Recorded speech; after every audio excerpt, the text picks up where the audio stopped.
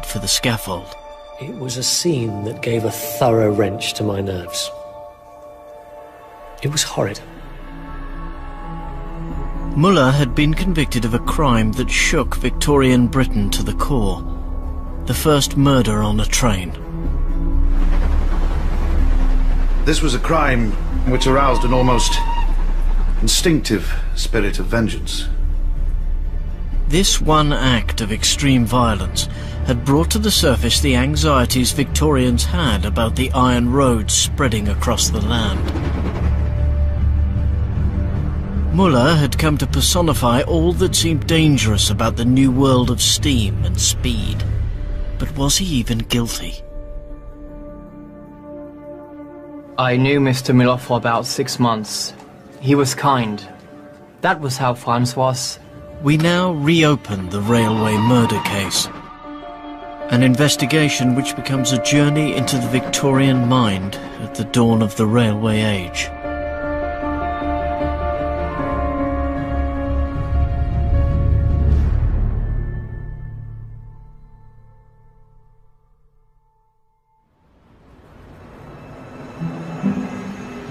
Twenty-first century London. Its streets shiny with glass and steel. Also a city where the past is everywhere. This film brings Victorian London back to life. We recreate documents and images from the first railway murder. We meet the people who became caught up in this sensational crime. The words they speak are taken from court transcripts, letters and reportage, their own testimony and that of other 19th century witnesses. Frederick Wicks was then a young journalist. His search for the truth inspired him to follow this story right to the end. Now, Wicks is our guide, helping us to travel from the present day back to the 1800s. As news of the murder spread, a feverish fear emerged. It was said that no one knew when they opened a carriage door that they might not find blood on the cushion. That not a parent would entrust his daughter to the train without a horrid anxiety. That not a traveller took his seat without feeling how he runs his chance.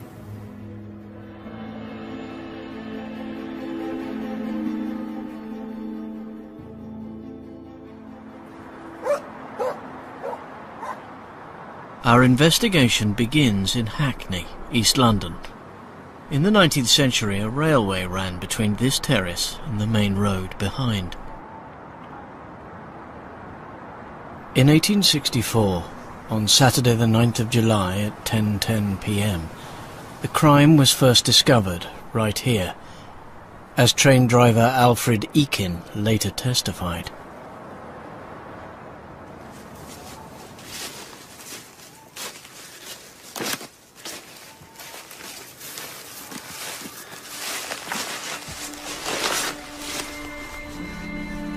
Was on my way and my attention was caught by something on the line. I stopped the engine as soon as possible and backed to the spot where the body was lying. He was lying on his back with his head towards Hackney. He was alive at the time.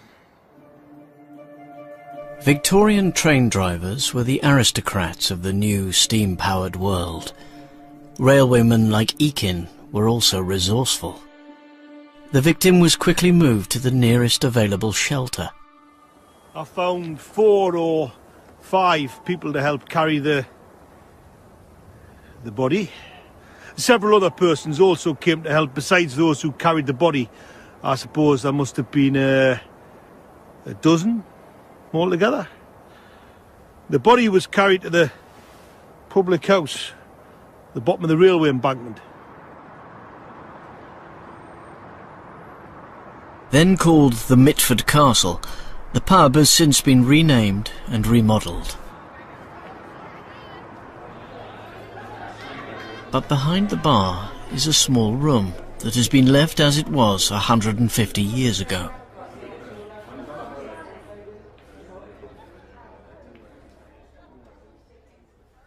He was lying on the table. I made an examination. His shirt was rumpled and his, his hat was gone. It was clear that the unfortunate man's skull was broken and he had a severe wound on the side of his head. He was still living but groaning. He was perfectly unconscious. Did you send for help? The medical man was sent for.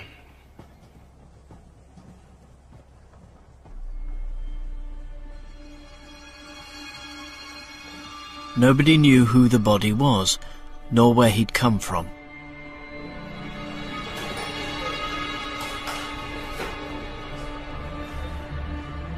Just up the line at Hackney Station, the Victorian tracks are still in use. Here, another discovery was made, at the same time as the bloodied body was found on the tracks. A suburban train pulled into Hackney Station. One of the carriages was empty, but stained with blood. From the appearance of the compartment, there had been a foul crime, there could be no doubt. What conclusion was drawn from the blood-stained carriage when put together with the body that Eakin found? The unfortunate victim had been assaulted on the train that had pulled in here. He had then been thrown onto the line by his assailant, or had struggled and fallen from the carriage in his endeavour to escape.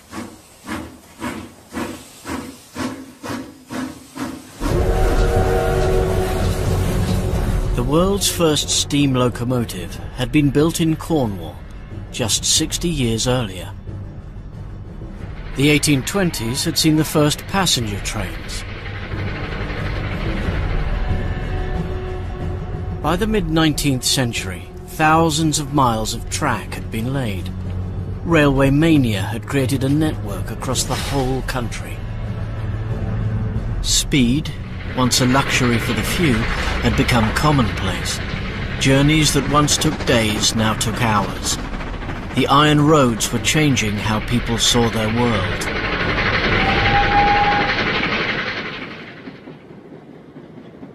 We feel we are approaching almost to the final extinction of space and distance. The surface of our country is shriveling in size. It will soon become not much bigger than one immense city. In 1864, the power of steam was a thrilling phenomenon. It was also terrifying.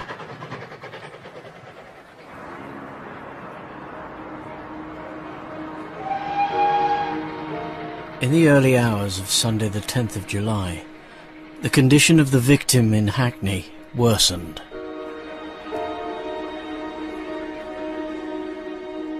From letters found in his pocket, he was identified as Thomas Briggs. This is his photograph. He was nearly 70. He had a wife and four children. His son was also called Thomas.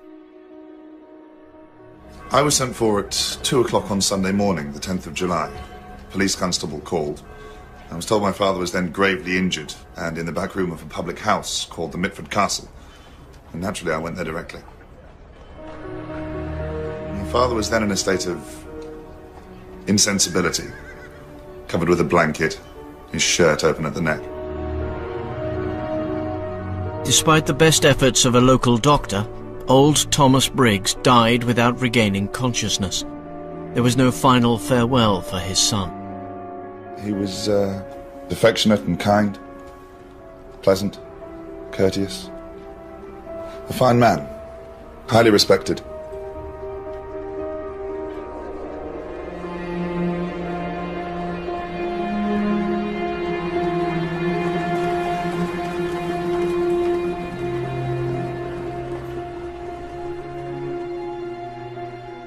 With Briggs's death, this was a murder, the highest and rarest criminal incident. Now, even this had happened in a railway carriage.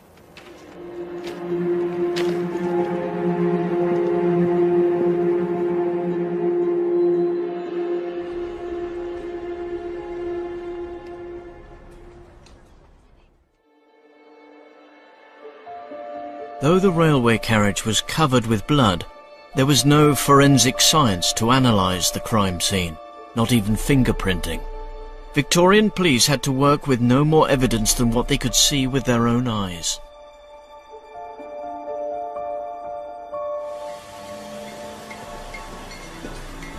The police investigation was led by an up-and-coming detective.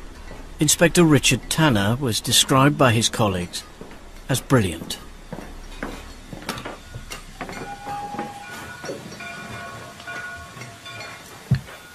I went first thing to the works of the North London line.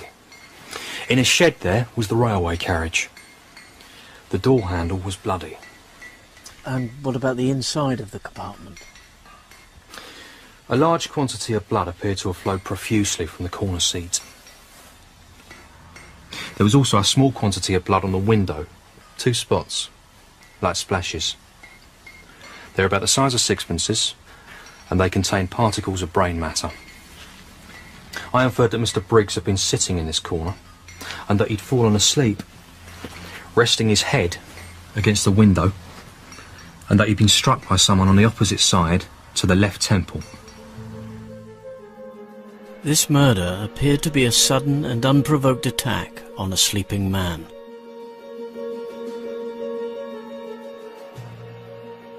The police also had the medical notes of the doctor who tried to save Briggs. There was a jagged wound across the left ear. In front of that ear, there was another jagged wound. There were also two deep wounds to the temple. The medical notes suggested to the police how Briggs had ended up on the railway tracks. A distinction was made between the wounds on the side of the head and those to the temple. Those up above were attributed to some blunt instrument. I think that those wounds on the side of the head were owing to a fall. You're saying he fell, so it could have been an accident? Appearances would indicate that the murderer took Mr. Briggs to the door and threw him out.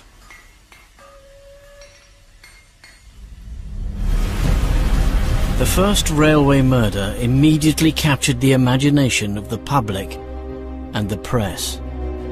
It was one of the foulest murders of our time. A thrill of horror ran through the whole country at news of this murder. Within seconds would have come the crushing blow. It was the rapidity of the incident, done on a frequented line, that caused alarm in the public mind.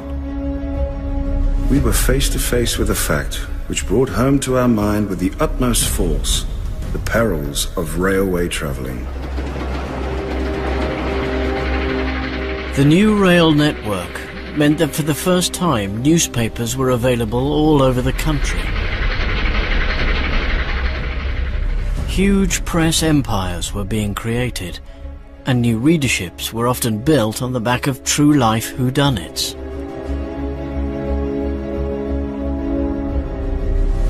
A new reading public sprang up under the stimulus of this curiosity.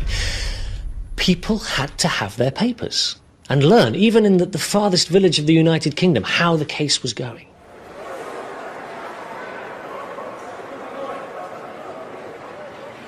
The mainline terminus at the heart of the railway murder case was the City of London's Fenchurch Street. 150 years ago, this was the start of a new suburban route called the North London Line.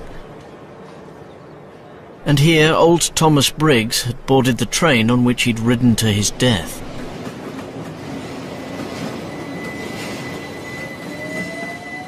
Trains leave Fenchurch Street under a covered way. This was originally to prevent horses taking fright from the noise and smoke of the steam engines. Soon after emerging into the open, the Victorian tracks turned north, away from the city. This stretch of the line has now been ripped up, but we do have an eyewitness account from the time.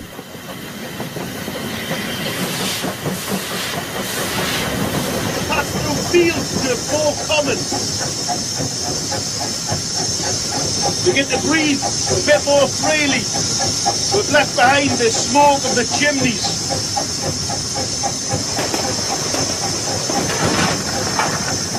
We find ourselves in deep countryside. We've got extensive views right over the Hackney Marshes. Then on the right rises the tower of the old Hackney Church.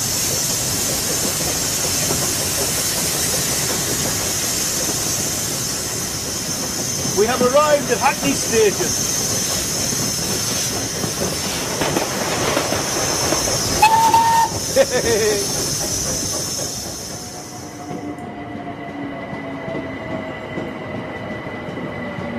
Hackney Station, where the blood-stained carriage was found, and where Briggs would have got off the train if he'd lived to complete his journey.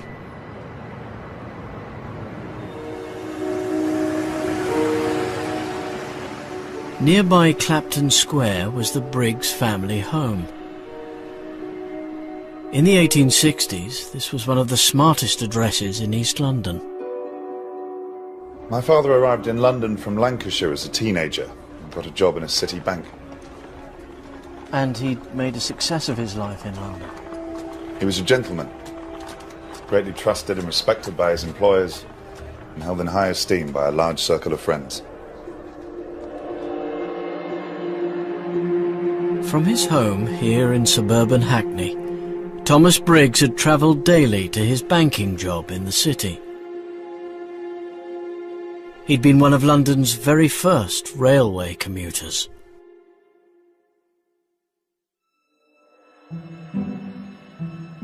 One aspect of Briggs's commute reveals a great deal about life in Victorian London. He'd always travelled first class, sitting in a private compartment that couldn't be accessed from the rest of the train.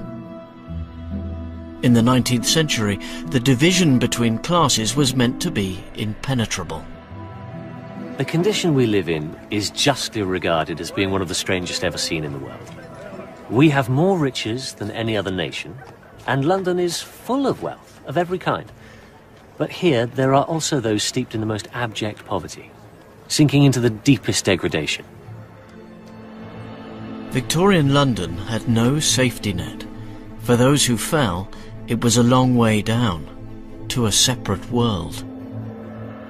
There is no intercourse, and no sympathy between rich and poor.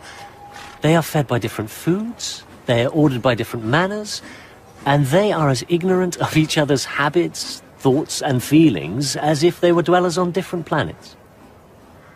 One can only wonder that the whole crazy fabric still hangs together. The murder of Thomas Briggs suggested a new fear, that the train was crashing through class barriers. If we can be murdered thus, travelling first class for a mere step of a journey, we could be slain in our pure church, or assassinated at our dinner table. Panic was coursing along the rails.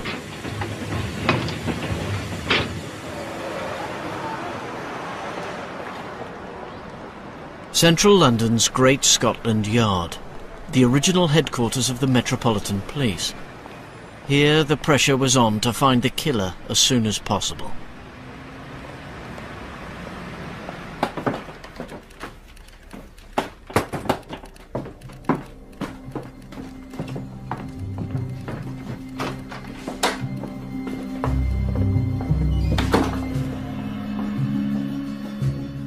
Police investigation of the crime scene produced a promising lead. Inspector Tanner reckoned he had the killer's hat. We took from the train compartment a bag, a stick, and a hat. The bag and stick were both recognised as having belonged to Mr. Briggs, but the hat was not his. Mr. Briggs had been wearing a tall hat, and that had disappeared. While this hat, found in the carriage, is a black beaver hat, and lower in the crown than the high hat that Mr. Briggs was in the habit of wearing. The hat's crushed, as if it's been trodden upon in a struggle, and the conclusion appeared to me inevitable that the murderer, in hurry and excitement, took the wrong hat. He took Mr. Briggs's hat with him and left his own. Though inexpensive, the hat was a new look, with a distinctive striped lining, which revealed the maker's name.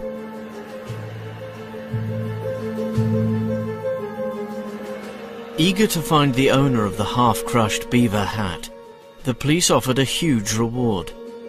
£300 was about five years' wages for a working man.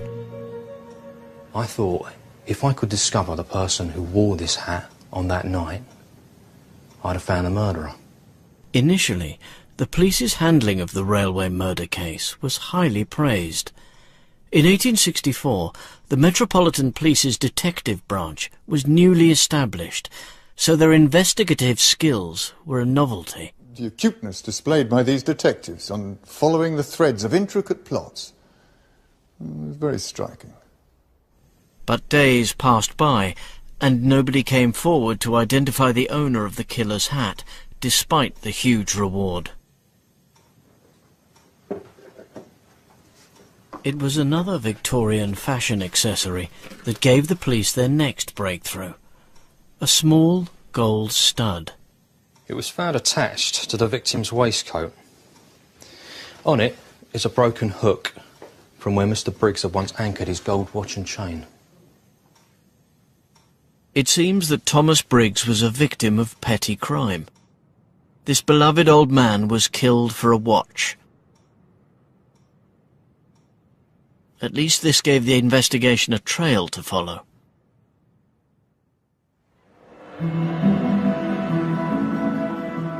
Anyone familiar with Victorian London knew where the stolen jewellery would probably be fenced. Cheapside. On the edge of the city banking district, it's now lined with glass-fronted office blocks. 150 years ago, it was full of shops.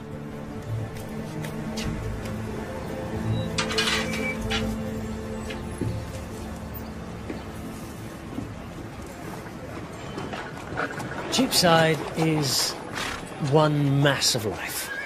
The greatest, busiest street in London, perhaps the world. It is as full of activity as a nest of vipers. There are tailors, shirt makers, tobacconists, and above all, jewellers. Most jewellers were also pawnbrokers. They exchanged valuables for cash, no questions asked. Here was the nucleus of Victorian London's black economy.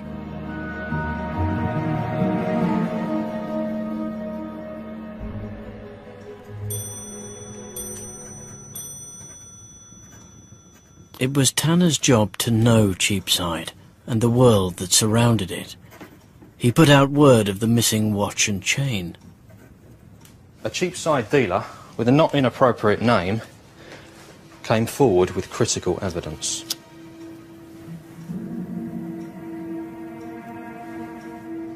Deeth stated a man called at his shop selling a gold watch chain. It matched the watch chain worn by Mr. Briggs on the night of his murder.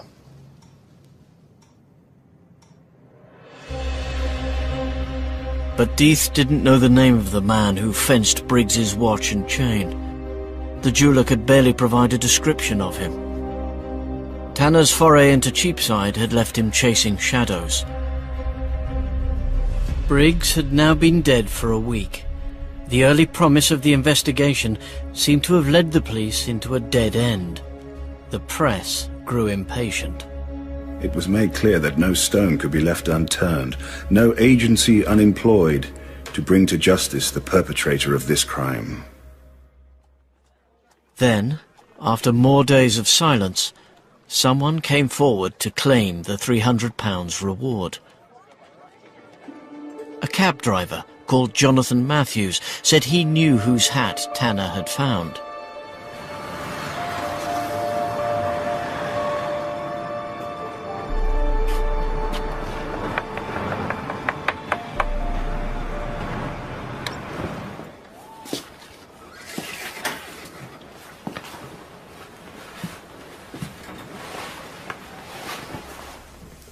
I had a new hat.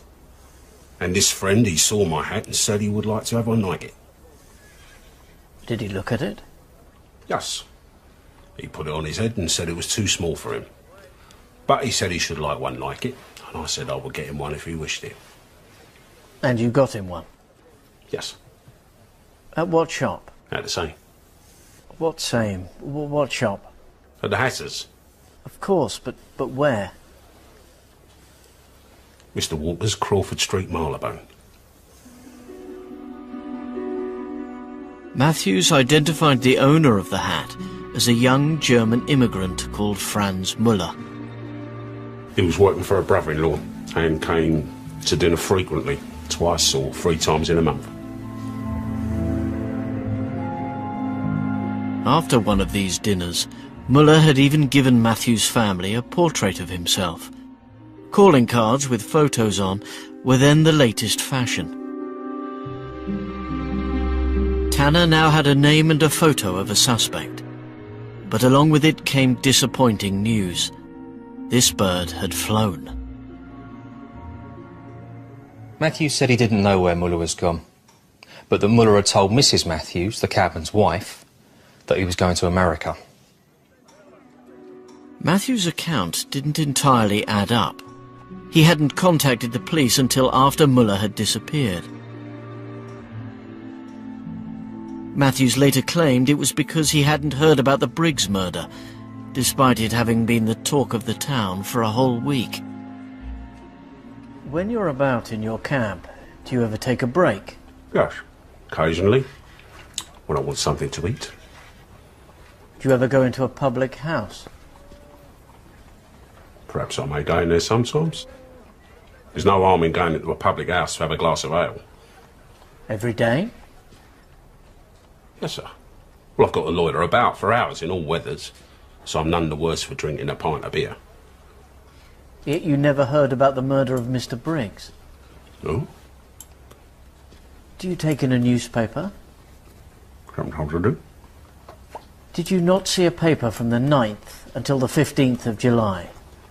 Not to bring the murder into my mind, no.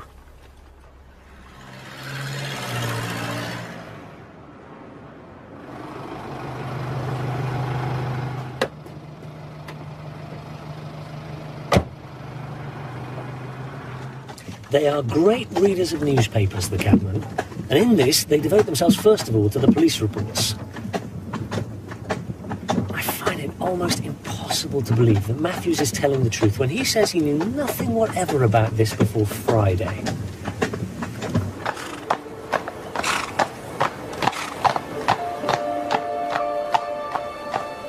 Matthews was a shadowy character. In his trade, survival depended on being ruthless and cunning. Because the economy of the Victorian streets was an energetic free-for-all. If a cabman sometimes overcharges a passenger, a passenger quite often underpays a cabman. I find ladies the worst passengers. They are timid and obstinate, and run into houses and send out their servants. We cabmen are neither worse than anybody else, nor yet better. There's good and bad among us, like in any basket of eggs. Perhaps Matthews was just spinning a yarn to get the £300 reward. For a Victorian cabman, money was always tight. As to our earnings, that depends. The best day is one with a fine morning and a wet afternoon. The people come out and are caught. Mind, if the day begins wet, that's bad for cabs. Why, in the winter time, I've had ten hours of it without so much as a single oat for myself. Reading Matthews was extremely difficult for Inspector Tanner. Matthew's manner appeared mysterious. There didn't appear any truth in him. But one element of Matthew's story did ring true. He said that Franz Muller had come to visit after the Briggs murder, bearing a gift, a decorative box from Deeth the jeweller. This linked the young German to the stolen watch and chain, so Tanner felt there had to be something in the cabman's story.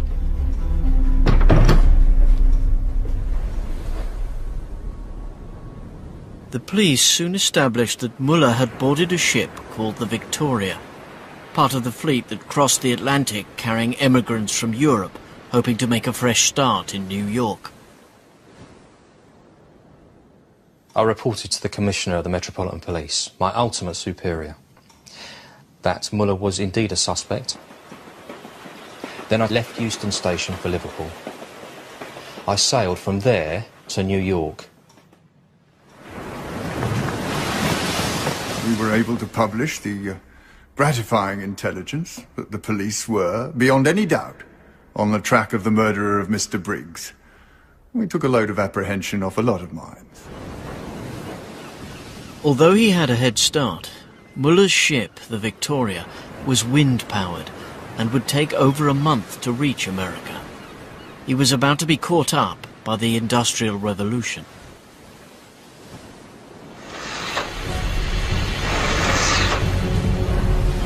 By 1864, there were steam-powered ships, which crossed the Atlantic in a fraction of the time it took a sailing ship.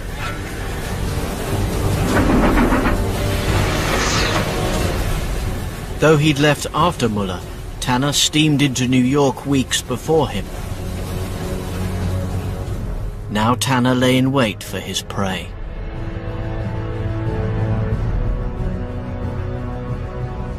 Muller made many mistakes, but his greatest was taking passage on a sailing ship. Uh, even he must have known that if the police had alighted on the broad trail he'd left behind, that steam would frustrate his escape.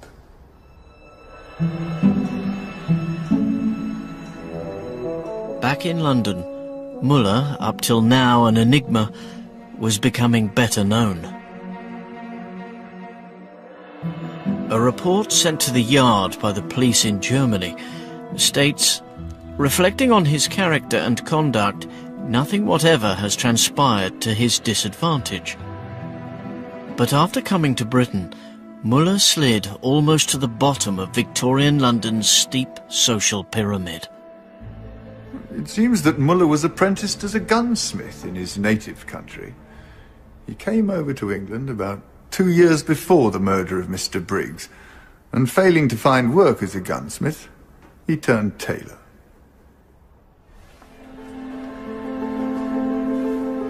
Johann Hofer was also a German immigrant. He'd once worked alongside Muller and so was interviewed by the police. A German tailor's testimony gives us a glimpse of the life that Muller endured in what were unforgiving streets. The German tailors in the eastern part of London are not that well off. It's a piecework system in the clothing factories and production is incredibly cheap. We make um, these coats for eight pence each. Trousers and waistcoats are made for three to four pence. I very often have to work all night, but slave as hard as a mitre, I never can get out of debt. What is to become of a society in which it is not possible for the hard-working worker to support himself, let alone a family? It's not surprising that people who live such an existence despair of their future. You talk of despair. Might this have driven Franz Muller to murder? Franz was always very well conducted in every respect. I never heard of him getting into rows or committing any assaults. He was kind. Across the Atlantic, Muller breezed into New York Harbor on the 25th of August. He'd no idea the police were lying in wait for him. I found Muller on board the Victoria. I remember he said to me, What's the matter? And then what? The American police officer I was with said, You are charged with the murder of Mr. Briggs. And I followed up with, Yes, on the North London Railway between Hackney and Bow on the 9th of July. Muller said I never was on that line. Then I took possession of the effects of the prisoner. In particular, I took hold of a hat. I asked Muller, Is this your hat? He said, Yes. This is the hat. It was not a hat a poor tailor would wear, but a gentleman's topper made from silk. What's more, it tied Muller even closer to the crime scene. The topper matched the description of the one taken from Briggs on the night of his murder. I asked him how long he possessed it. He said about 12 months. What did you say in reply? I told him I should have to hold him as a prisoner. The hat from the crime scene had made Muller a police suspect. The hat in his luggage seemed to confirm his guilt in the public mind. The hat of the murdered man. If it was true that the hat of the murdered man had actually been found on the prisoner's person, it would have been idle to entertain any doubt as to his criminality. So far as anything that is done in secret can be certain, we were certain that Muller committed this crime. Tanner and Muller embarked for home together on an ocean liner. The two men shared quarters and seemed to have got to know each other on the 15-day passage. I told him that it was usual to place prisoners of his class in irons, but that I didn't wish to put him to any discomfort. If therefore he would promise to comply with my requests, I should not iron him. I supplied him with books to pass away the time. I lent him first Mr. Dickens's hilarious Pickwick Papers, then two volumes of David Copperfield. Muller behaved himself well. He could not have been a better conducted prisoner. Tanner and Muller's ship docked at Liverpool, from where they took the train south.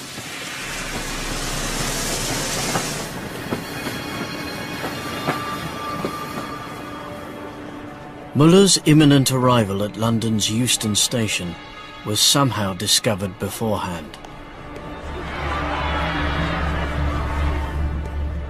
A mob turned out to greet the young German.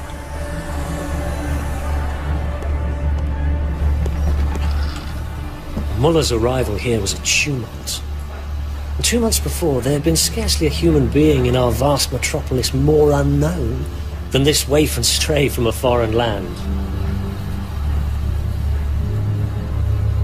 Poor Muller. To wake up one morning and find oneself famous. By strange fortune, this is what befell this obscure German tailor. This was also the first time the press set their eyes on Muller. A dull-looking young man, with a mouth like a slit cut into wood, and eyes sunk deep under a low forehead. On the 17th of September, two months after the murder of Thomas Briggs, Franz Muller was back in London under arrest. This was the end of Inspector Tanner's involvement in the first railway murder it seemed that the case was closed. We didn't know the precise circumstances of the deed, but that Franz Muller committed it was more certain than any human conclusion can be.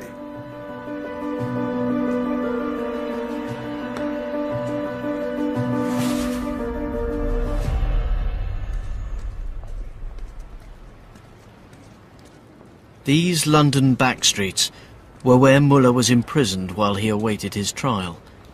It was scheduled for a month after his return. Though a pariah to many, Muller's predicament meant he did attract some supporters. I considered Mr. Muller to be innocent of the crime, and resolved to save no trouble or expense to prove him being not guilty. Gottfried Kinkel was another German immigrant. He too had done time.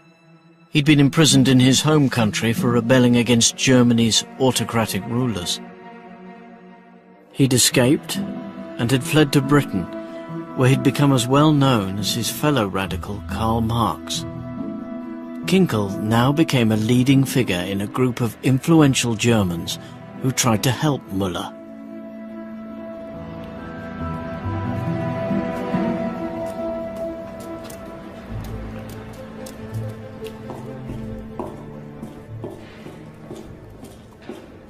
first met Muller in here. I explained that we were undertaking his defense, that he had friends. When I told him a change of clothes had been provided for him, his lips quivered forth an expression of thanks, and his eyes filled with tears. Things were very bad for him. Muller's whole demeanor was not that of a man who was guilty of murder and his natural kindliness of temper never was seen to change. Yet it was supposed that this poor tailor got into a first-class carriage able to murder or rob someone in a minute or two? Such a hypothesis was fallacious. Muller's German supporters claimed the case against him was based on prejudice. Germans had initially been welcomed to Britain. By the 1860s, they were the second largest immigrant group in London. But in February 1864, Denmark, a British ally, had been invaded by Germany. Then attitudes had changed. Muller was a German. And Englishmen of those days had been reading often enough in their papers that the war that we were carrying on was nothing better than burglary. So a German in English eyes was more likely to be a robber than not. Muller's bad character was by now deeply etched into the public mind. Calling the case against him anti-German prejudice appears to have backfired.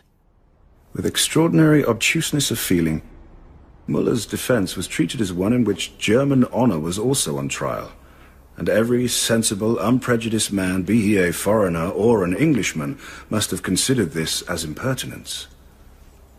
If some of the Germans residing in England were not happy with that, they had much better stay at home.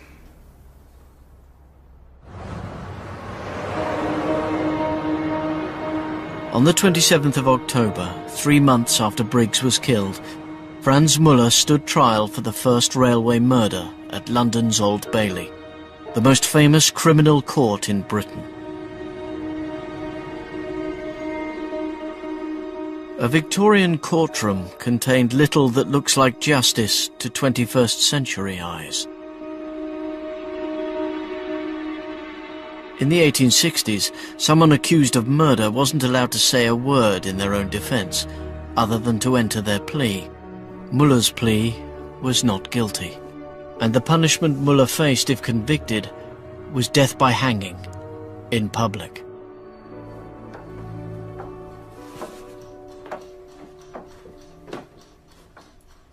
If ever there are cases in which care and caution need to be exercised, it's cases like this was, where life or death hung upon the balance.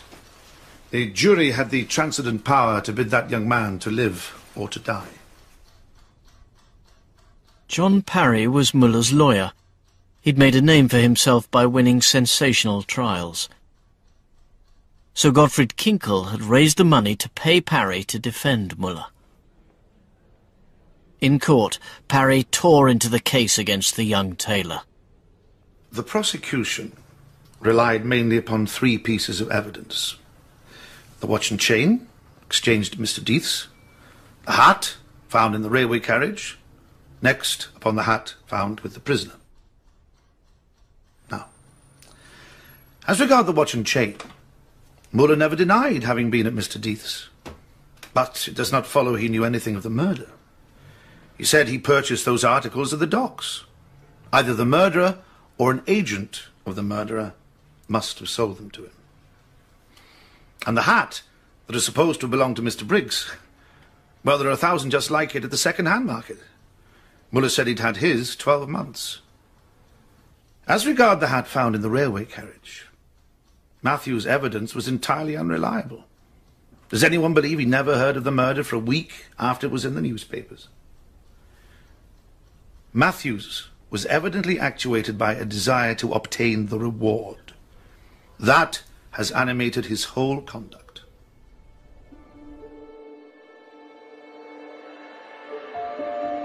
The attempt to destroy the prosecution case hinged on Matthews becoming the villain of this story. Parry revealed to the jury that the cabman had debts and had done time for theft. It was a catastrophic miscalculation of the public mood.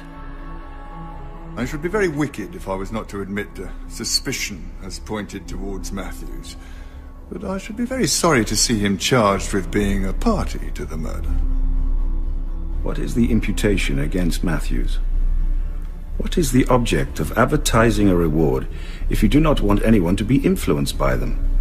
And if you are to disbelieve every man who gives evidence because of a reward, at once and forever cease to give rewards for the purpose of detecting great offences.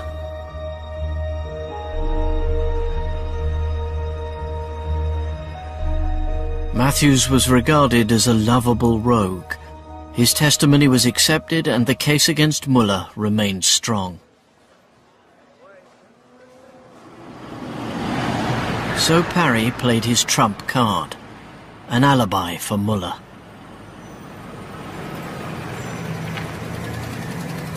Camberwell, in South London, was miles away from the scene of the attack on Briggs. Here, just off Vassall Road, where there is still a terrace of Victorian cottages, Muller was seen just minutes before the murder.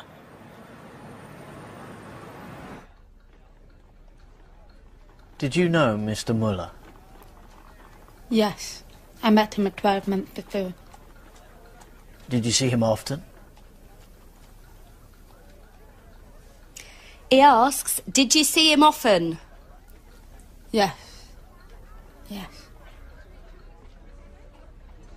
Mary Ann Eldred, a young deaf woman, was Muller's sweetheart. She testified along with her landlady, Elizabeth Jones.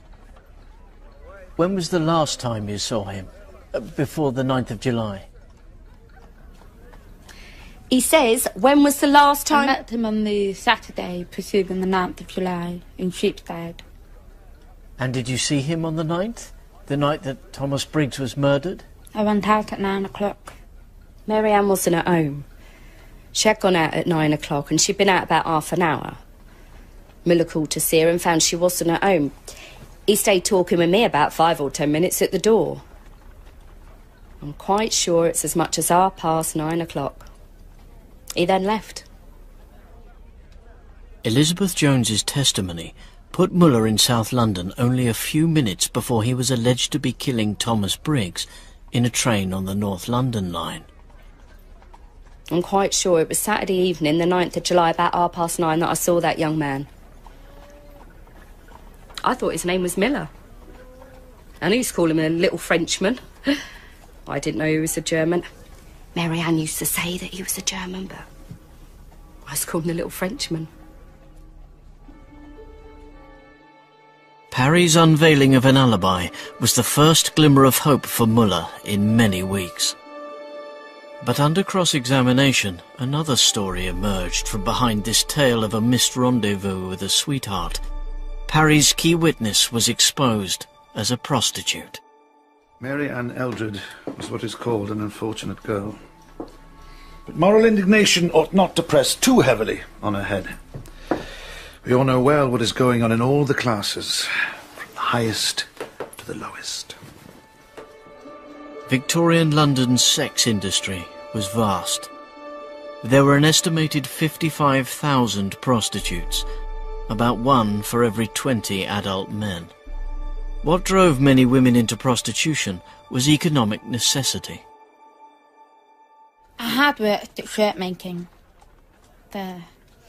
Fine, full fronted white shirt. I got tuppence each for them. By working from five o'clock in the morning till midnight each night, I was able to do seven in the week. This brought me to a profit of fifteen pence. It stands to reason that no one can live, pay rent and buy clothes upon fifteen pence a week. So I was forced to go out at night to make my living. I can, and I will solemnly state that it was the smallest of the price for my labour that forced me to prostitution for a living.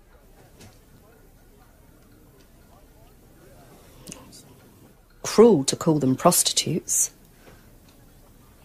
I know how horrible this is. In my heart, I hate it. My whole nature rebels against it. And no one but God knows how I struggle to give it up.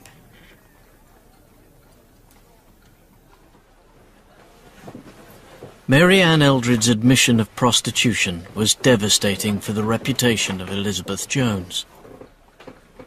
It became clear that Jones was no ordinary landlady, but was running a house of ill repute. Mary Ann Eldred.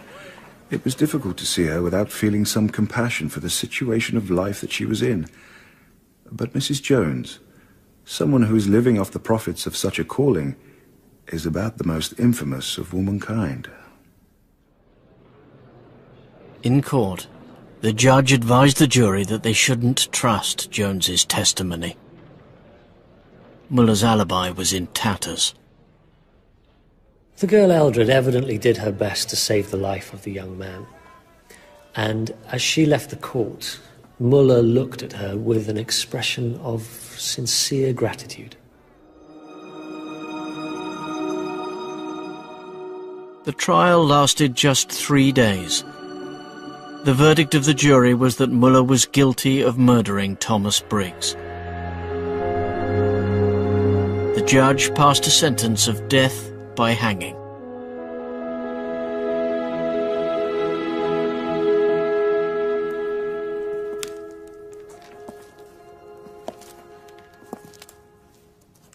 Gottfried Kinkel refused to give up the fight for Franz Muller. A petition was organized and sent to the Home Secretary begging for mercy.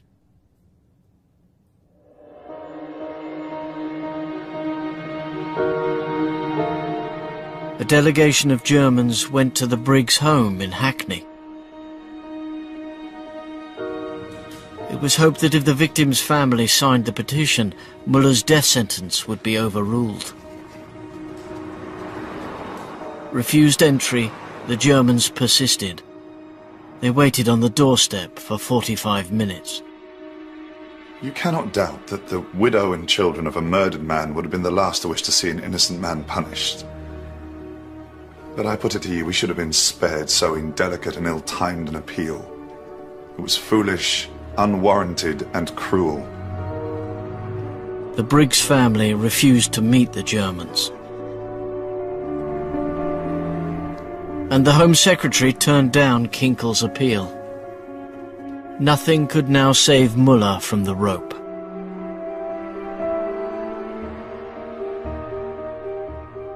What had begun in death, by the law which society these days maintains, also ended in death.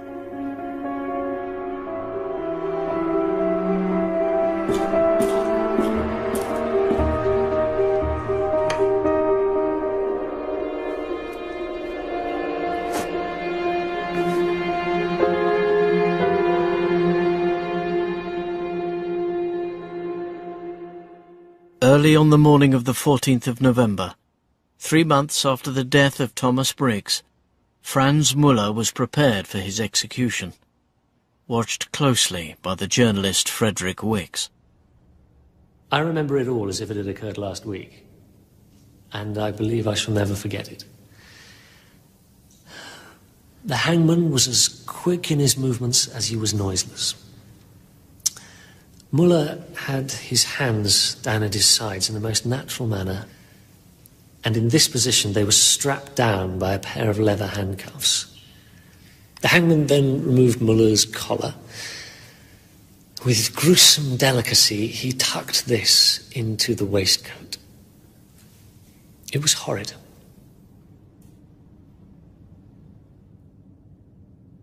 But the horror was only just beginning.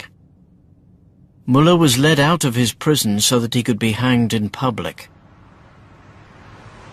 Wicks, determined to keep on his story, went with Muller all the way to the scaffold. It was erected right here, between the Church of St. Sepulchre and the Old Bailey Courthouse across the road. The chaplain led the way to the scaffold, reading the burial service, and the hangman then led Muller up a flight of about ten steps, and I followed. Perhaps my presence on the scaffold was regarded as an intrusion, but nothing to me seemed more proper. From up on the scaffold, Wicks had a condemned man's view of a judicial slaughter. Fifty thousand people came to see Muller hang.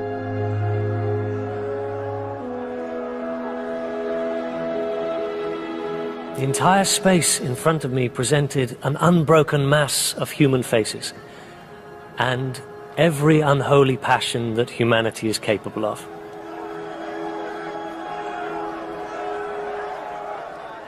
The mouths of all the myriads of dirty, yellow faces were open, and all the thousands of eyes upturned upon the spot where I stood. Meanwhile, the hangman put the rope round Muller's neck and tightened the slip knot just under his right ear. And last of all, he pulled a dirty yellow hood down over the man's head to his chin. He then stood aside. The priest continued to beseech Muller to confess his crimes, but Muller preserved the same stolid, unimpassioned manner that had characterized his attitude throughout. I stood just behind him as the drop fell. Then a movement, so slight it could scarcely be called a movement, but rather an almost imperceptible muscular flicker went through Muller's frame. This was all. And Muller had ceased to live.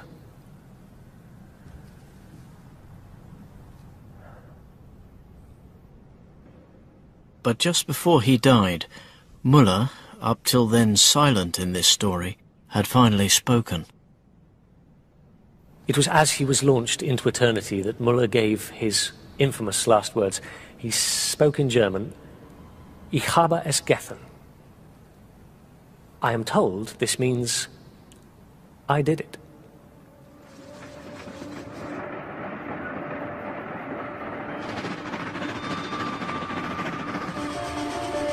In a few years, the terror inspired by the first railway murder faded. The train became part of everyday life.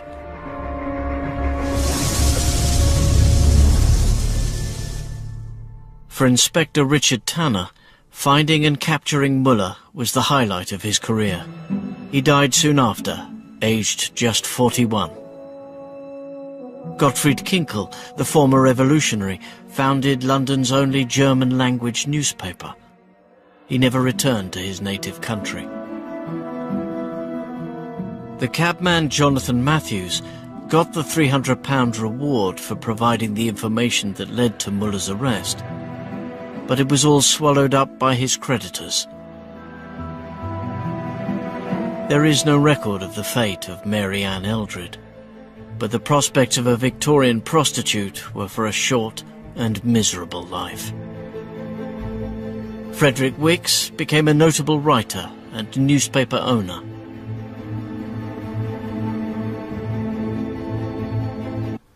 As regard the hat found in the railway carriage, Matthew's evidence was entirely unreliable. Does anyone believe he never heard of the murder for a week after it was in the newspapers? Matthews was evidently actuated by a desire to obtain the reward. That has animated his whole conduct.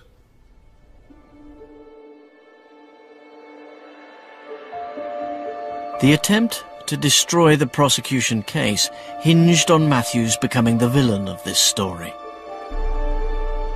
Parry revealed to the jury that the cabman had debts and had done time for theft. It was a catastrophic miscalculation of the public mood. I should be very wicked if I was not to admit uh, suspicion has pointed towards Matthews. But I should be very sorry to see him charged with being a party to the murder. What is the imputation against Matthews? What is the object of advertising a reward if you do not want anyone to be influenced by them? And if you are to disbelieve every man who gives evidence because of a reward, at once and forever cease to give rewards for the purpose of detecting great offences.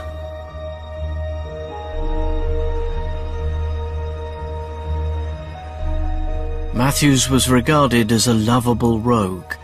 His testimony was accepted and the case against Muller remained strong. So Parry played his trump card, an alibi for Muller.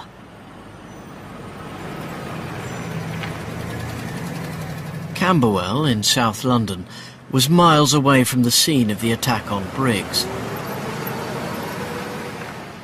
Here, just off Vassall Road, where there is still a terrace of Victorian cottages, Muller was seen just minutes before the murder.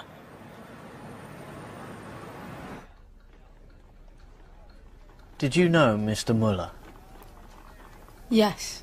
I met him a 12 months before. Did you see him often? He asks, Did you see him often? Yes. Yes. Mary Ann Eldred, a young deaf woman, was Muller's sweetheart. She testified along with her landlady, Elizabeth Jones. When was the last time you saw him? Uh, before the 9th of July? He says, When was the last time... I met him on the Saturday preceding the 9th of July in Cheapside. And did you see him on the 9th?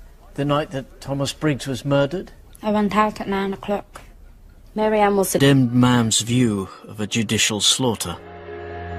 50,000 people came to see Muller hang.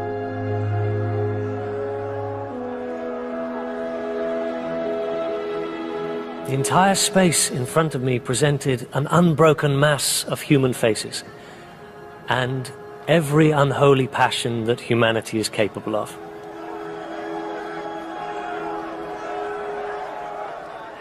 The mouths of all the myriads of dirty yellow faces were open, and all the thousands of eyes upturned upon the spot where I stood. Meanwhile, the hangman put the rope round Muller's neck and tightened the slip knot just under his right ear. And last of all, he pulled a dirty yellow hood down over the man's head to his chin. He then stood aside.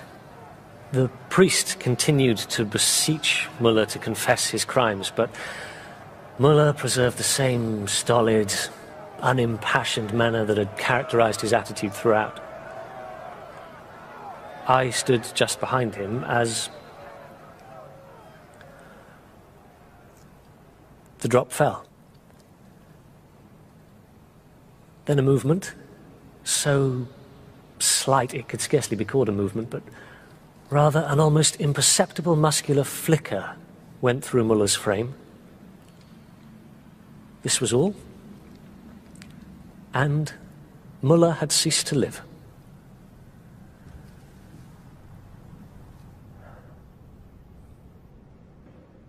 But just before he died, Muller, up till then silent in this story, had finally spoken. It was as he was launched into eternity that Muller gave his infamous last words. He spoke in German, Ich habe es getan. I am told this means I did it.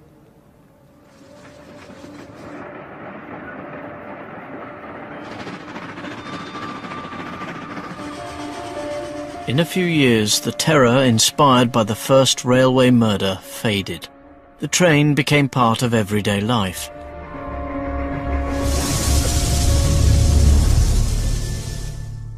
For Inspector Richard Tanner, finding and capturing Muller was the highlight of his career.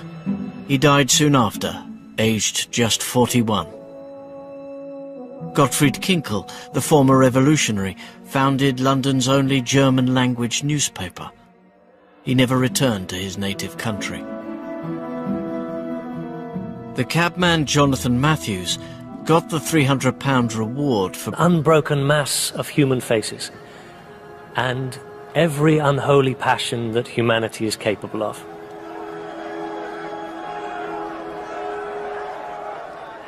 The mouths of all the myriads of dirty yellow faces were open, and all the thousands of eyes upturned upon the spot where I stood. Meanwhile, the hangman put the rope round Muller's neck and tightened the slip knot just under his right ear.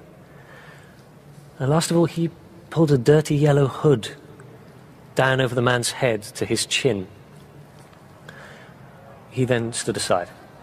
The priest continued to beseech Muller to confess his crimes, but Muller preserved the same stolid, unimpassioned manner that had characterized his attitude throughout.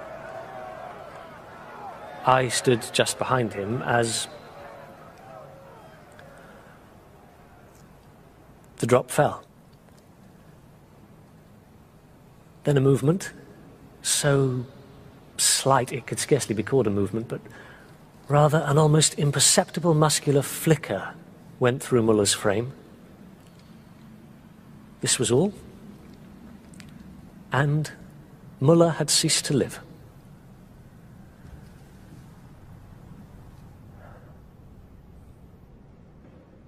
But just before he died, Muller, up till then silent in this story, had finally spoken. It was as he was launched into eternity that Muller gave his infamous last words. He spoke in German, Ich habe es getan. I am told this means I did it.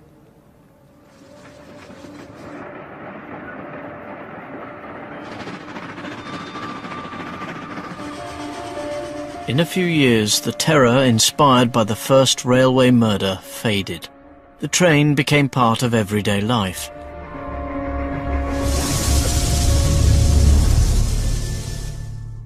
For Inspector Richard Tanner, finding and capturing Muller was the highlight of his career. He died soon after, aged just 41. Gottfried Kinkel, the former revolutionary, founded London's only German-language newspaper. He never returned to his native country.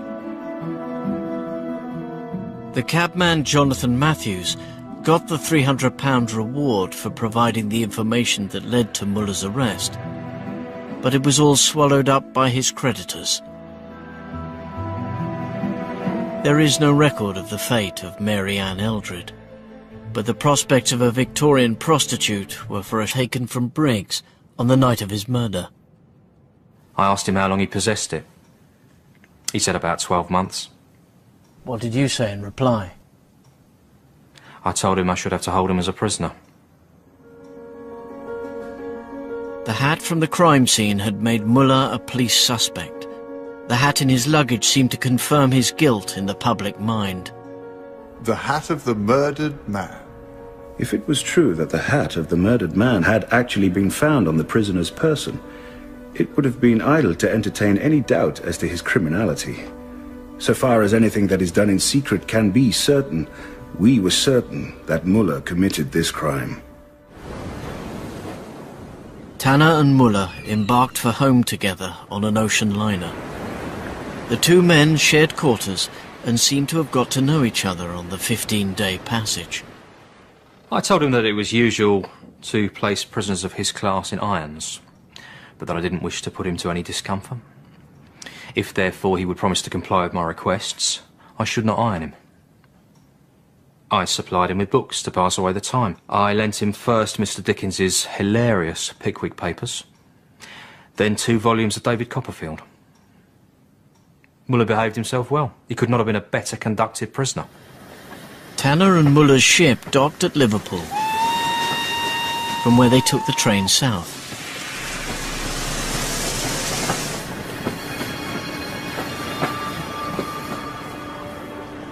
Muller's imminent arrival at London's Euston Station was somehow discovered beforehand.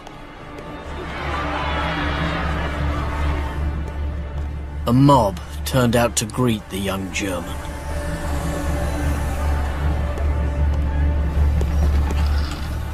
Muller's arrival here was a tumult. two months before, there had been scarcely a human being in our vast metropolis more unknown than this waif and stray from a foreign land. Poor Muller. To wake up one morning and find oneself famous. By strange fortune, this is what befell this obscure German tailor. This was also the first time the press set their eyes on Muller. A dull-looking young man, with a mouth like a slit cut into wood, and eyes sunk deep under a low forehead. On the 17th of September, two months after the murder of Thomas Briggs, Franz Muller was back in London under arrest. This was the end of Inspector Tanner's involvement in the first railway murder. It seemed that the case was closed. Those up above were attributed to some blunt instrument. I think that those wounds on the side of the head were owing to a fall. You're saying he fell, so it could have been an accident? Appearances would indicate that the murderer took Mr. Briggs to the door and threw him out.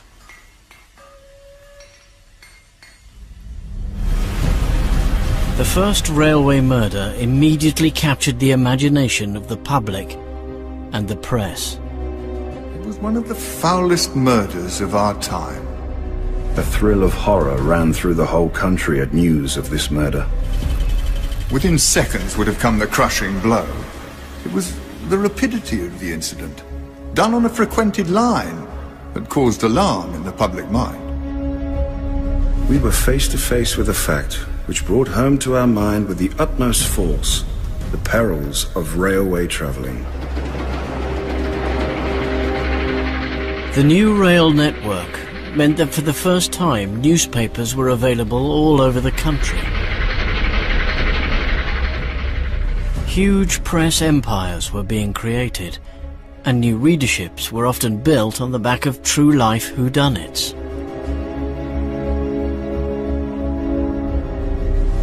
A new reading public sprang up under the stimulus of this curiosity. People had to have their papers and learn, even in the, the farthest village of the United Kingdom, how the case was going.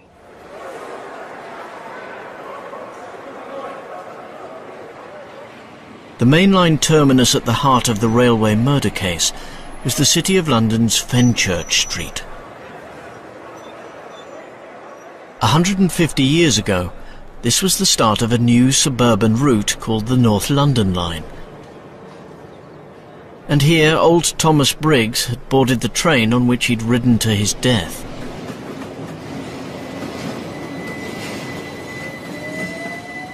Trains leave Fenchurch Street under a covered way. This was originally to prevent horses taking fright from the noise and smoke of the steam engines. Soon after emerging into the open, the Victorian tracks turned north, away from the city. This stretch of the line has now been ripped up, but we do have an eyewitness account from the time.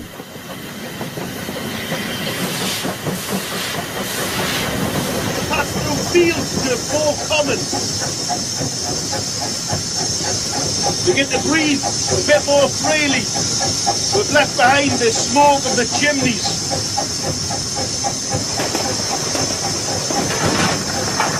Uh, a dozen altogether. The body was carried to the public house, the bottom of the railway embankment.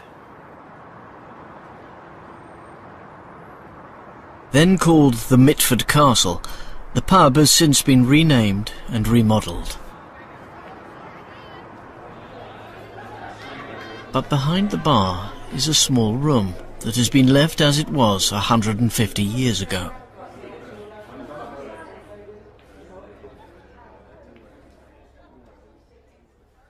He was lying on the table. I made an examination. His shirt was rumpled and his, his hat was gone.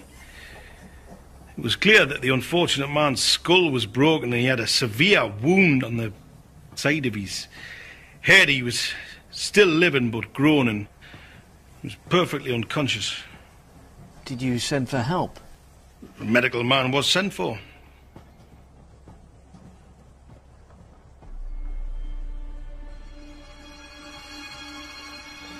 Nobody knew who the body was, nor where he'd come from.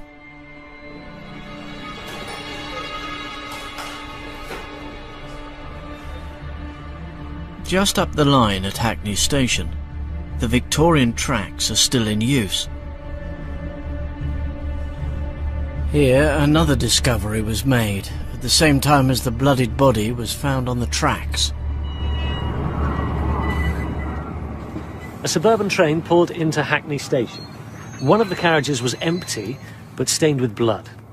From the appearance of the compartment, there had been a foul crime, there could be no doubt. What conclusion was drawn from the blood-stained carriage when put together with the body that Eakin found? The unfortunate victim had been assaulted on the train that had pulled in here. He had then been thrown onto the line by his assailant, or had struggled and fallen from the carriage in his endeavour to escape.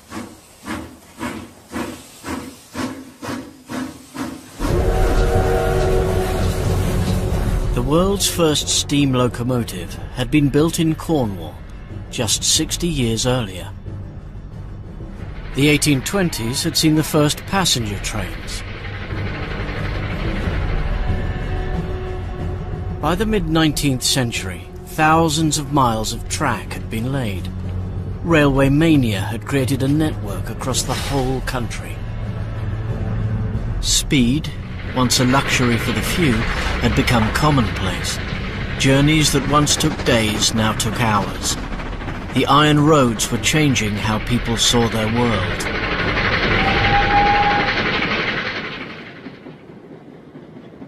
We feel we are... What's more, it tied Muller even closer to the crime scene.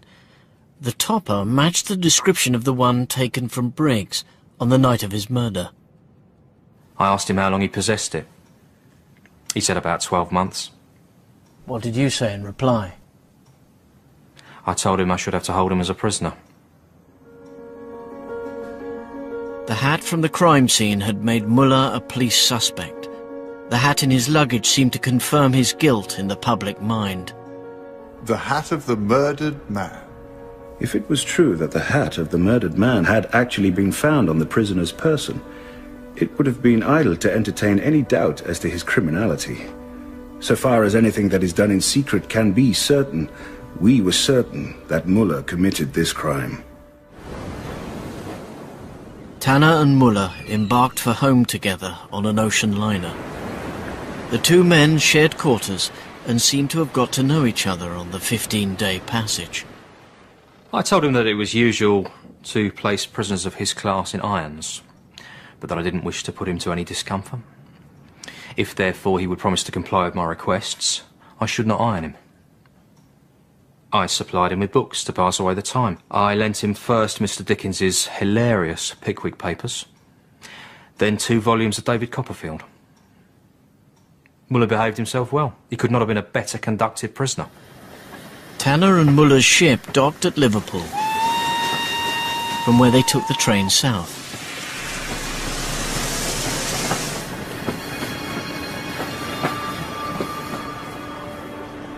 Muller's imminent arrival at London's Euston Station was somehow discovered beforehand.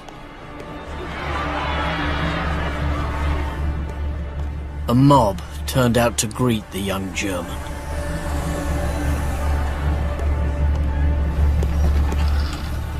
Muller's arrival here was a tumult.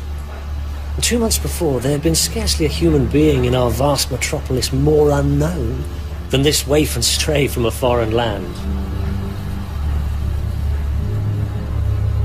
Poor Muller. To wake up one morning and find oneself famous. By strange fortune, this is what befell this obscure German tailor. This was also the first time the press set their eyes on Muller. A dull-looking young man, with a mouth like a slit cut into wood, and eyes sunk deep under a low forehead. On the 17th of September, two months after the murder of Thomas Briggs, Franz Muller was back in London under arrest.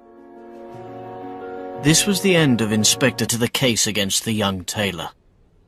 The prosecution relied mainly upon three pieces of evidence.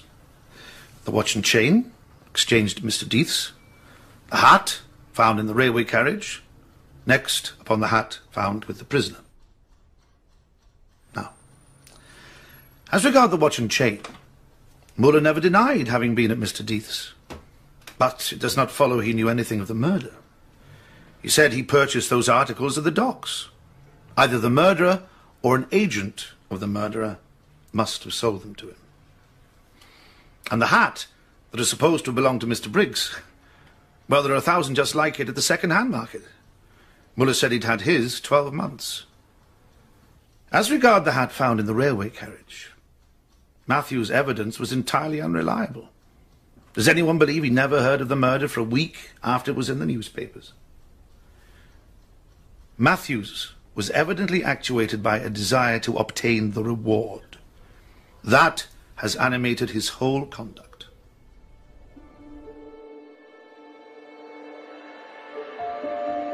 The attempt to destroy the prosecution case hinged on Matthews becoming the villain of this story. Parry revealed to the jury that the cabman had debts and had done time for theft. It was a catastrophic miscalculation of the public mood. I should be very wicked if I was not to admit uh, suspicion has pointed towards Matthews. But I should be very sorry to see him charged with being a party to the murder. What is the imputation against Matthews? What is the object of advertising a reward if you do not want anyone to be influenced by them? And if you are to disbelieve every man who gives evidence because of a reward, at once and forever cease to give rewards for the purpose of detecting great offences.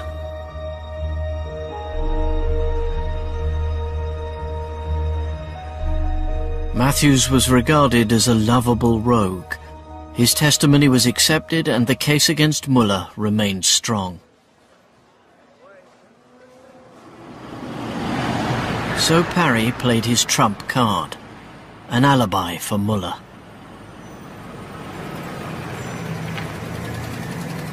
Camberwell, in South London, was miles away from the scene of the attack on Briggs. Here, just off Vassall Road, where there is still a terrace of Victorian cottages, Muller was seen just minutes before the murder.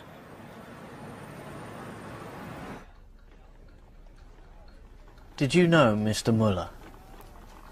Yes, I met him. Mind, if the day begins wet, that's bad for cabs.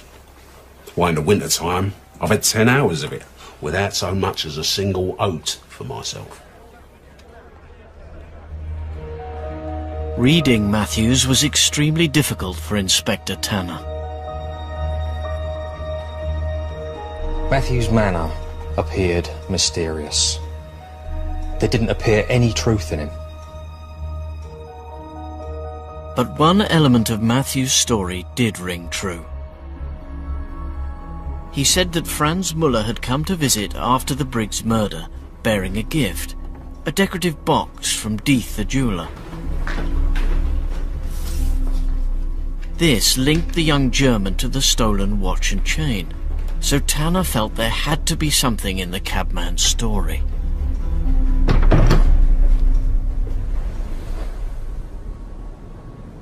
The police soon established that Muller had boarded a ship called the Victoria, part of the fleet that crossed the Atlantic carrying emigrants from Europe, hoping to make a fresh start in New York. I reported to the Commissioner of the Metropolitan Police, my ultimate superior, that Muller was indeed a suspect. Then I left Euston Station for Liverpool. I sailed from there to New York. We were able to publish the uh, gratifying intelligence that the police were, beyond any doubt, on the track of the murderer of Mr. Briggs. We took a load of apprehension off a lot of minds. Although he had a head start, Muller's ship, the Victoria, was wind-powered and would take over a month to reach America. He was about to be caught up by the Industrial Revolution.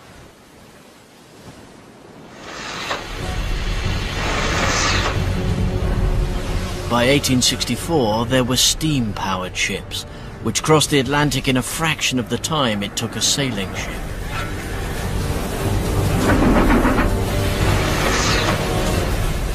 Though he'd left after Muller, Tanner steamed into New York weeks before him.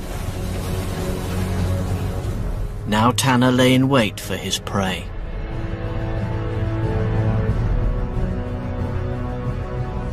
Muller made many mistakes, but his greatest was taking passage on a sailing ship.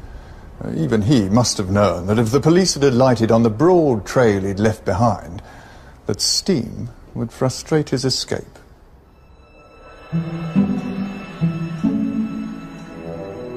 Back in London, Muller, up till now an enigma, was becoming better known. The first railway murder immediately captured the imagination of the public and the press. It was one of the foulest murders of our time. A thrill of horror ran through the whole country at news of this murder. Within seconds would have come the crushing blow. It was the rapidity of the incident, done on a frequented line, that caused alarm in the public mind. We were face to face with a fact which brought home to our mind with the utmost force the perils of railway travelling. The new rail network meant that for the first time newspapers were available all over the country. Huge press empires were being created, and new readerships were often built on the back of true-life whodunits.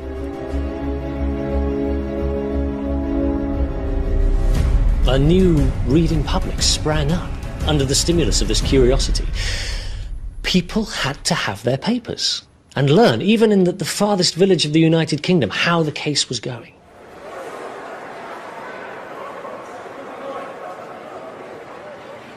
The mainline terminus at the heart of the railway murder case was the City of London's Fenchurch Street.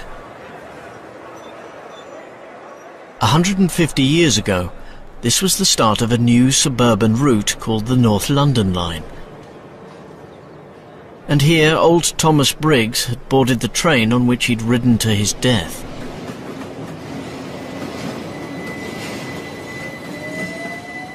Trains leave Fenchurch Street under a covered way. This was originally to prevent horses taking fright from the noise and smoke of the steam engines. Soon after emerging into the open, the Victorian tracks turned north, away from the city. This stretch of the line has now been ripped up, but we do have an eyewitness account from the time.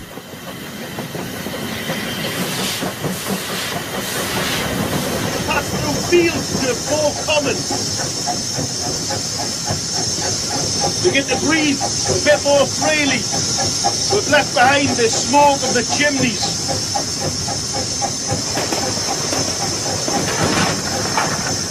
We find ourselves in deep countryside. We've got extensive views right over the Hackney Marshes.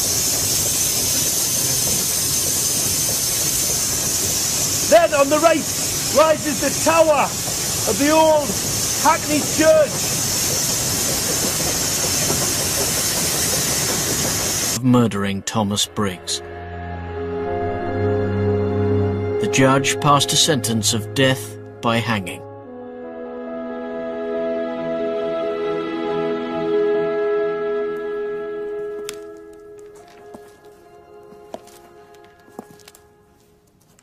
Gottfried Kinkel refused to give up the fight for Franz Muller.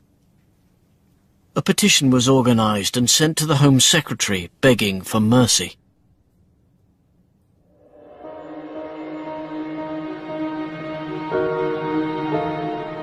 A delegation of Germans went to the Briggs home in Hackney.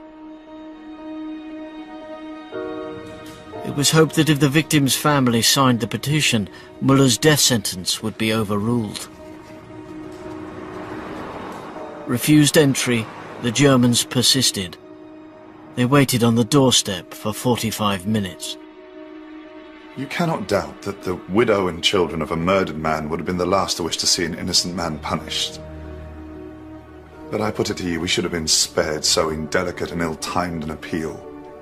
It was foolish, unwarranted, and cruel.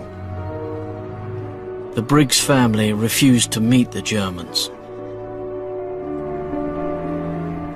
And the Home Secretary turned down Kinkel's appeal. Nothing could now save Muller from the rope.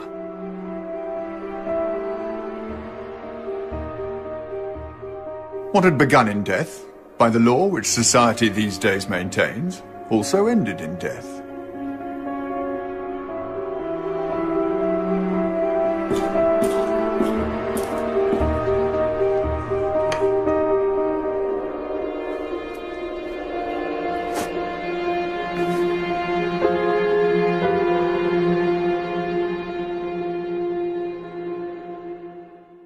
Early on the morning of the 14th of November, three months after the death of Thomas Briggs, Franz Muller was prepared for his execution, watched closely by the journalist Frederick Wicks. I remember it all as if it had occurred last week, and I believe I shall never forget it. The hangman was as quick in his movements as he was noiseless. Muller had his hands down at his sides in the most natural manner, and in this position they were strapped down by a pair of leather handcuffs. The hangman then removed Muller's collar. With gruesome delicacy, he tucked this into the waistcoat. It was horrid.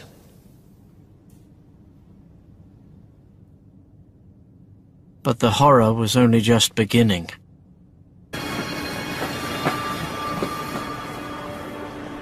Muller's imminent arrival at London's Euston Station was somehow discovered beforehand. A mob turned out to greet the young German.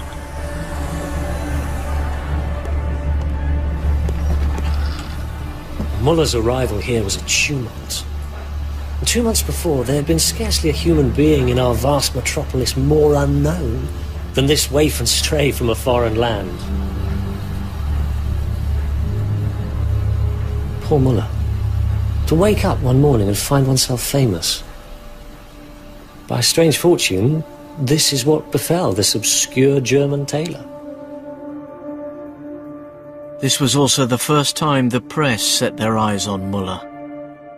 A dull-looking young man, with a mouth like a slit cut into wood, and eyes sunk deep under a low forehead. On the 17th of September, two months after the murder of Thomas Briggs, Franz Muller was back in London under arrest. This was the end of Inspector Tanner's involvement in the first railway murder. It seemed that the case was closed. We didn't know the precise circumstances of the deed, but that Franz Muller committed it was more certain than any human conclusion can be.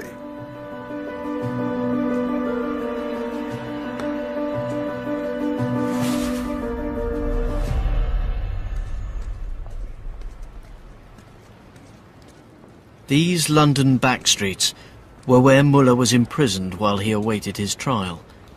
It was scheduled for a month after his return. Though a pariah to many, Muller's predicament meant he did attract some supporters. I considered Mr. Miller to be innocent of the crime, and resolved to save no trouble or expense to prove him being not guilty. Gottfried Kinkel was another German immigrant. He too had done time. He'd been imprisoned in his home country for rebelling against Germany's autocratic rulers. He'd escaped and had fled to Britain, where he'd become as well known as his fellow radical Karl Marx. Kinkel now became a leading figure in a group of influential Germans who tried to help Muller.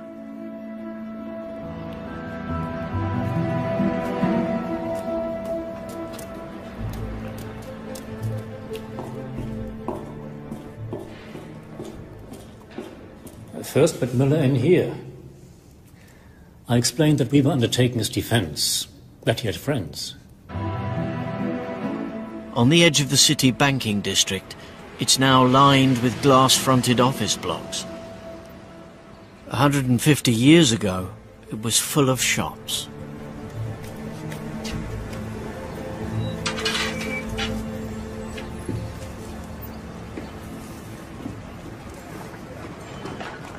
Cheapside is one mass of life. The greatest, busiest street in London, perhaps the world. It is as full of activity as a nest of vipers. There are tailors, shirt makers, tobacconists, and, above all, jewellers. Most jewellers were also pawnbrokers. They exchanged valuables for cash, no questions asked. Here was the nucleus of Victorian London's black economy.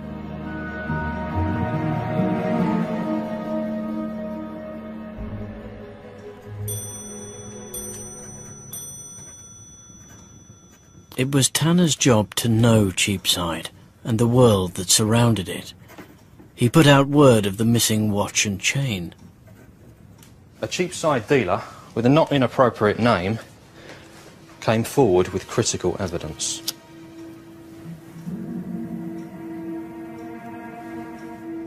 Deeth stated a man called at his shop selling a gold watch chain. It matched the watch chain worn by Mr. Briggs on the night of his murder.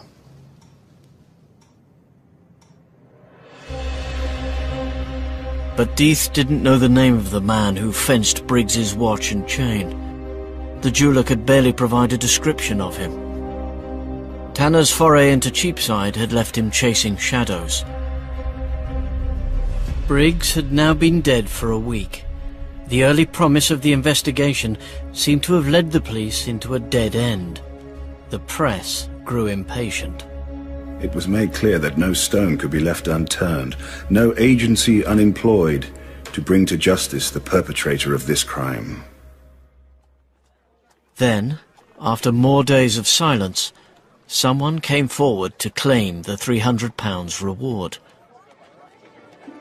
A cab driver called Jonathan Matthews said he knew whose hat Tanner had found.